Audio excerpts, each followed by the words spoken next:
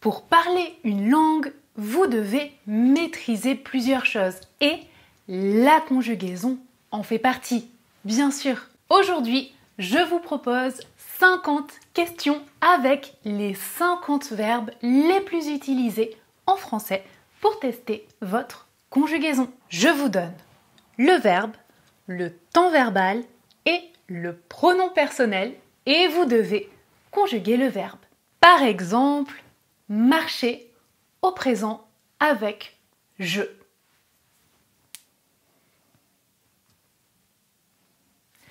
Réponse je marche. Je marche. Oui, facile.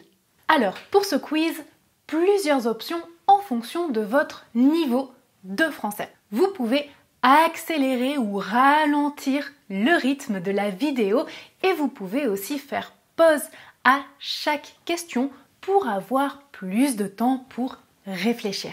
Enfin, vous pouvez aussi écrire les réponses sur un cahier ou sur votre portable pour pouvoir aussi tester votre orthographe. C'est parti, nous allons voir 10 temps verbaux et 5 verbes par temps. N'oubliez pas de compter vos points, il va y avoir des verbes réguliers et des verbes irréguliers. Nous allons bien sûr tester les deux. C'est parti Catégorie numéro 1, le présent, la base. On y va avec le verbe chanter, elle.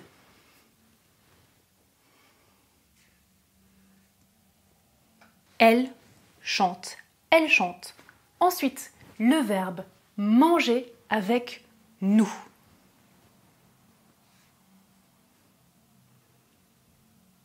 Nous mangeons. Attention, il y a un E juste après le G. Cela permet de prononcer jon, mangeons. S'il n'y avait pas de E, on prononcerait mangon. Et ce n'est pas correct. Ici, on prononce mangeons. Nous mangeons. Ensuite, savoir avec tu.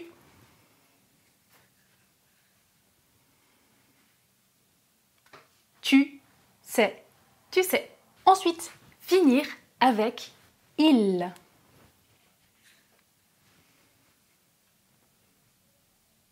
Ils finissent. Ils finissent. Oui.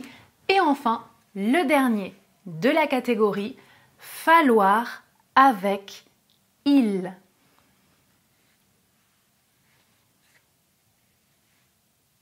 Falloir, c'est un verbe que vous connaissez probablement quand il est conjugué. C'est un verbe impersonnel. Cela signifie qu'on l'utilise seulement avec il.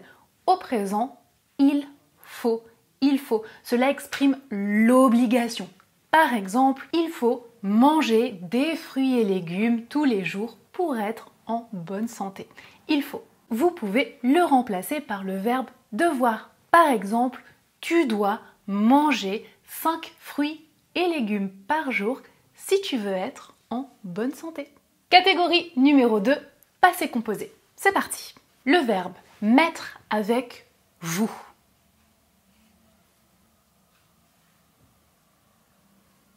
Vous avez mis. Vous avez mis. Ensuite, arriver avec elle.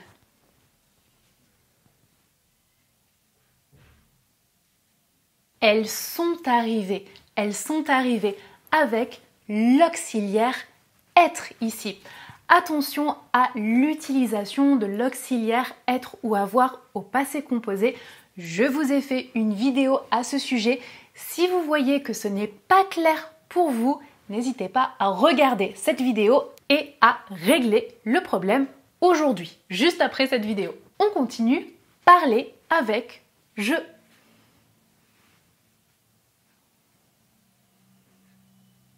J'ai parlé, j'ai parlé. Ensuite, croire avec il.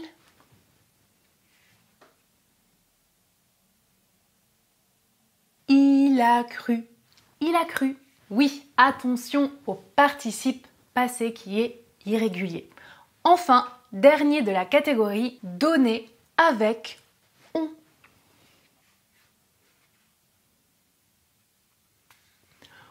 On donné. on a donné. Est-ce que vous connaissez ce pronom personnel on? C'est très important de le connaître parce qu'en français, on l'utilise beaucoup, surtout à l'oral. Dites-moi dans les commentaires si vous connaissez bien ce pronom ou si il vous pose problème et on pourra faire une vidéo à ce sujet si vous le souhaitez. Fin de la catégorie numéro 2, comptez vos points et on passe à la catégorie numéro 3 avec l'imparfait. Pouvoir avec nous.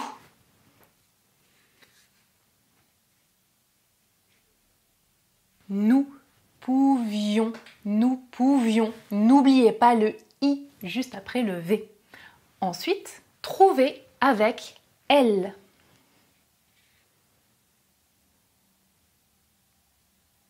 Elle trouvait, elle trouvait. Ensuite, entrer avec vous.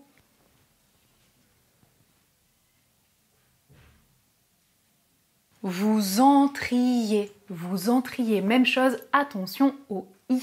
Sentir avec tu.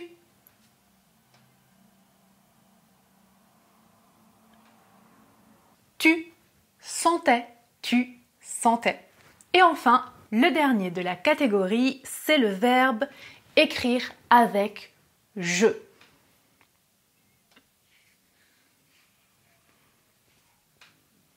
J'écrivais, j'écrivais. Oui, attention au verbe et attention, comme le verbe commence par une voyelle, j'enlève le E de je et j'ajoute une apostrophe. J'écrivais, j'écrivais. Comptez vos points et on passe au plus que parfait. Si vous ne connaissez pas ce temps, ce n'est pas grave. Regardez et essayez de comprendre la logique de ce temps verbal. C'est un temps du passé. Si vous ne le connaissez pas encore, dites-le moi dans les commentaires. Et encore une fois, on pourra faire une vidéo où je vous explique tout. Pour ceux qui connaissent, concentration, on y va. Portez avec je au plus que parfait.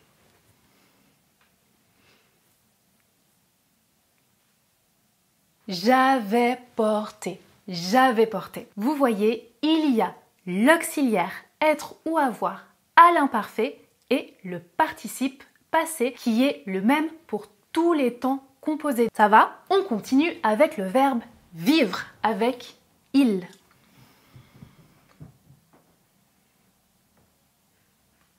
Il avait vécu. Il avait vécu. Attention à ce participe passé parce que j'entends beaucoup de petits problèmes au passé composé aussi. Hein. C'est le même, je répète, mémorisez bien ce participe passé. Il a vécu au passé composé au plus que parfait. Il avait vécu. On continue avec le verbe commencer avec il pluriel.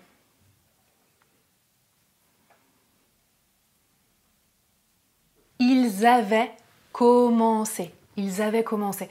Attention avec il ou elle pluriel, ENT à la fin du verbe, ici à la fin de l'auxiliaire avoir, je ne prononce pas. Jamais. Ils avaient, avaient, je ne prononce pas. ENT, faites très attention à ça parce que j'entends aussi hein, souvent les étudiants qui prononcent ENT à la fin des verbes au pluriel. Non. Avec il et elle pluriel, on ne prononce jamais ENT. Ils avaient commencé.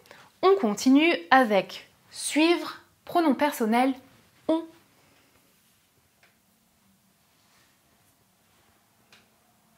On avait suivi.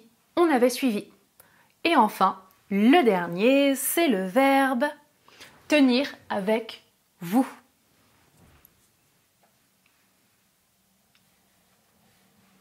Vous aviez tenu vous aviez tenu. Ça va? Comptez vos points et maintenant on passe à la catégorie numéro 5 avec le futur proche. C'est parti Verbe laisser avec elle.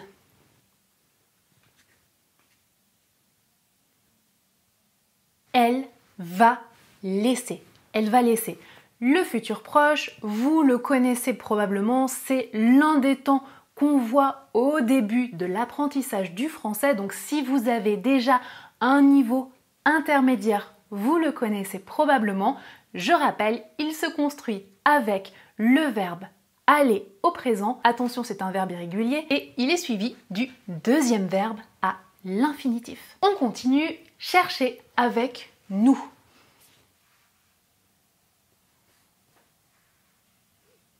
Nous allons chercher, nous allons chercher. Attention à la liaison. Nous allons, nous allons. Même chose, liaison. J'ai fait une vidéo à ce sujet. N'hésitez pas à la regarder si vous le souhaitez. Comprendre avec je.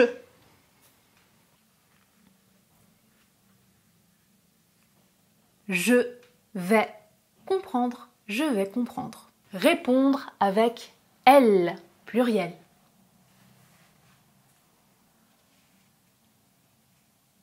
Elles vont comprendre, elles vont comprendre. Le dernier, voir avec tu.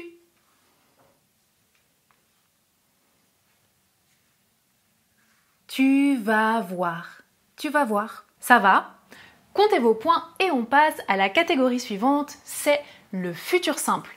Même chose, si la différence entre le futur proche et le futur simple n'est pas vraiment claire pour vous, dites-le moi et encore une fois, on pourra faire une vidéo à ce sujet, bien sûr. N'oubliez pas, je fais les vidéos en fonction de vos demandes. Ici, c'est un quiz parce que vous m'avez dit de faire plus de quiz.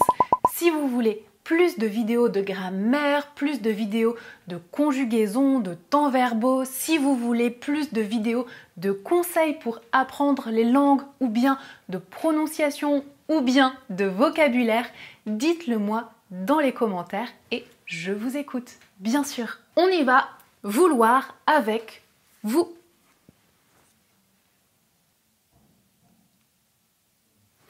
Attention, c'est un verbe irrégulier vous voudrez, vous voudrez. Ensuite, c'est le verbe aimer avec tu.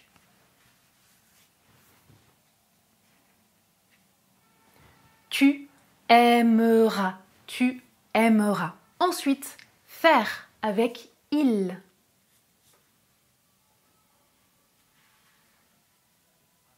Il fera, il fera. Rester avec je.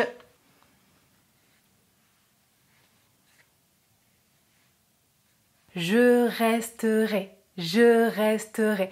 Attention, il n'y a pas de S à la fin du verbe. Si vous ajoutez un S à la fin du verbe, ça existe et c'est du conditionnel. Attention, on va voir le conditionnel présent juste après. Terminons la catégorie du futur simple avec le dernier verbe, le verbe sembler avec elle au singulier.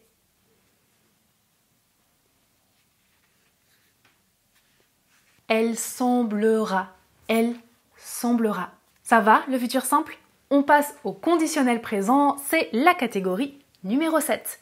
C'est parti Alors, on commence avec le verbe être avec nous.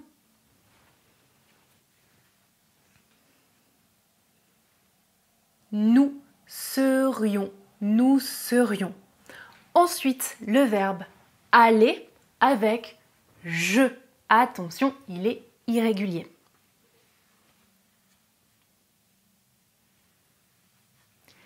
J'irai, j'irai.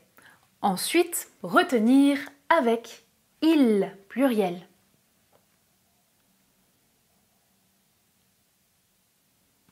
Il retiendrait. Il retiendrait. Même chose, pluriel, je ne prononce pas ENT à la fin du verbe. Rendre avec on.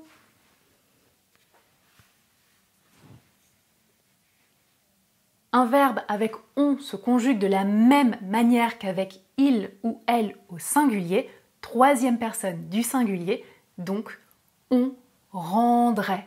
On rendrait. Dernier de la catégorie, paraître avec tu.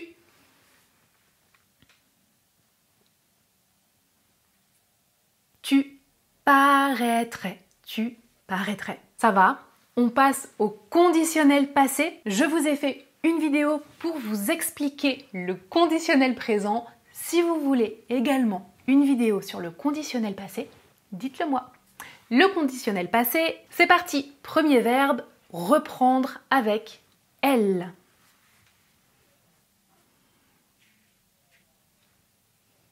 Elle aurait repris. Elle aurait repris. Ensuite, le verbe regarder avec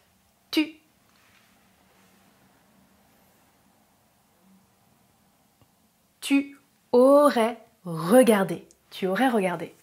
Ensuite, c'est le verbe tomber avec nous.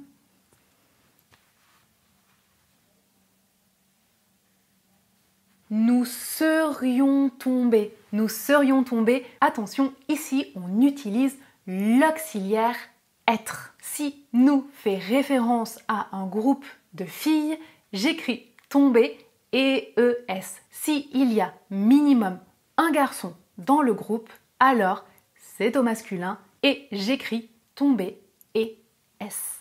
J'accorde avec l'auxiliaire être, mais pas avec l'auxiliaire avoir ici. Monter avec je.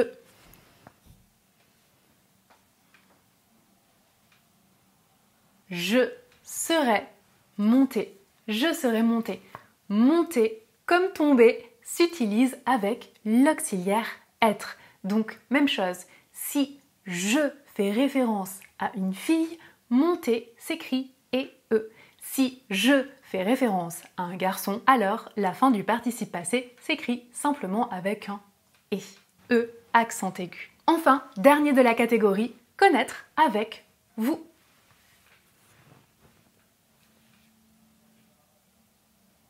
Vous auriez connu. Vous auriez connu. Ça va Comptez vos points et on passe à la catégorie suivante, le subjonctif présent. Même chose, si le subjonctif n'est pas clair pour vous, je vous conseille de regarder cette vidéo que j'ai fait pour vous sur le subjonctif présent. Je vous mets le lien dans la description. On y va, je teste votre subjonctif présent avec le verbe entendre. On va utiliser il faut que avant chaque verbe. La plupart du temps, le subjonctif s'utilise avec un autre verbe. Ici, nous allons utiliser le verbe falloir. Il faut que qui marque l'obligation. On y va avec le verbe entendre avec il.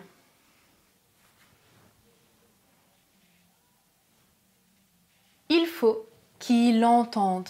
Il faut qu'il entende. Ensuite, verbe venir avec elle, pluriel.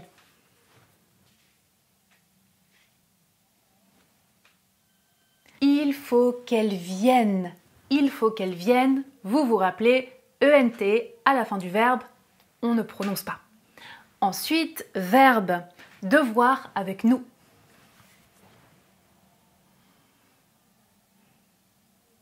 Que nous devions, que nous devions. Ensuite, le verbe appeler avec je.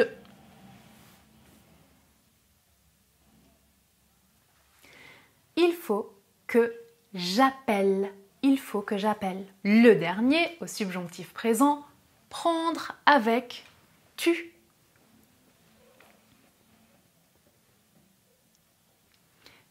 Il faut que tu prennes. Il faut que tu prennes. Ça va Vous voyez que la difficulté augmente progressivement, bien sûr. Et le numéro 10, le dernier, c'est le futur antérieur pour les niveaux avancés. Si vous ne connaissez pas encore ce temps, pas d'inquiétude. Regardez et essayez de comprendre la logique. C'est un temps composé et on commence avec le verbe avoir, avec il, pluriel.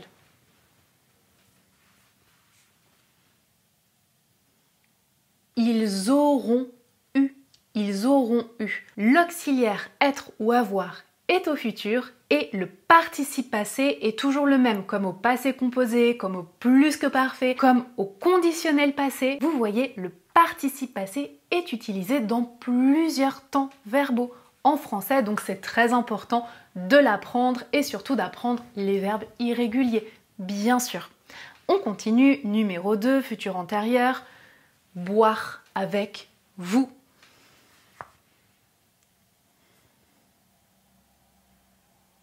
Vous aurez bu. Vous aurez bu. Ensuite, verbe passer avec je.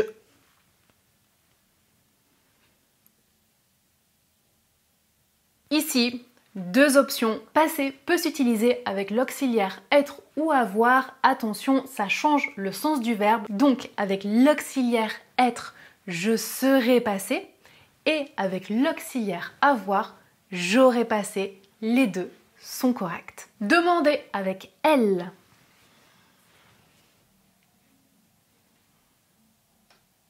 Elle aura demandé. Elle aura demandé.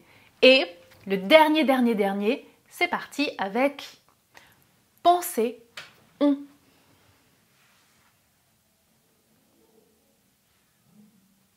On aura pensé.